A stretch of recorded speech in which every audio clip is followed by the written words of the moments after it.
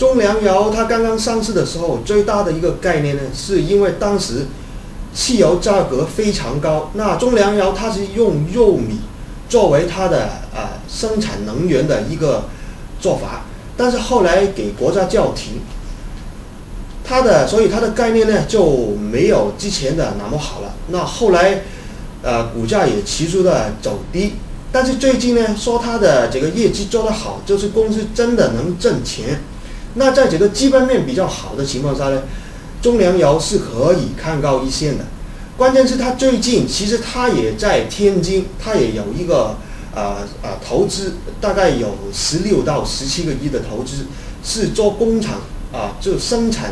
啊这个器物加工的一些的呃产品。那这在这个情况下呢，公司的基本面呢是比较健康的。那建议呢，投资者是啊有一个比例的财产可以去购买这一家股票，但是也要注意一下资产的分配，因为毕竟这一家并不是比较大的、比较大的权重股，它毕竟是一家比较小的啊一家啊上市公司。